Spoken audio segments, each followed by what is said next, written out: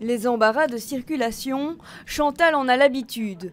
Plusieurs fois par semaine, elle se rend à son travail depuis Bruges jusqu'au centre de la capitale et passe des heures dans les files. J'ai mis deux heures euh, aujourd'hui. En général, je fais deux heures. Ça peut être un peu plus, un peu moins. Souvent, j'essaye de partir tôt, euh, mais même si tu pars tôt, je risque d'avoir deux, deux heures et demie de route. Un trajet qui pourrait durer plus longtemps à cause de ce projet de piétonnier.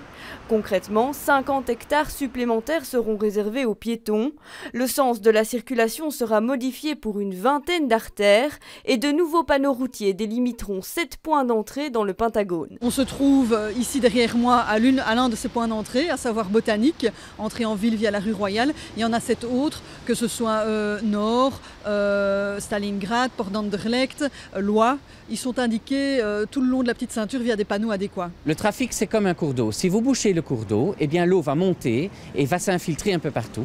Donc les voitures vont essayer de trouver des échappatoires parce que quand on rentre dans des axes, par exemple comme Charles-Quint, pour tous ceux qui viennent de la côte, à partir du moment où c'est totalement bouché, ils ne peuvent plus traverser par le centre, ils vont essayer d'aller dans d'autres petites rues. Enfin, quatre parkings souterrains vont être créés au Brigitine, place Roupe, place du nouveau marché au grain et ici place de l'Isère, des parkings eux aussi loin de faire l'unanimité. Toutes les études démontrent que plus on construit de parkings, plus on attire des voitures.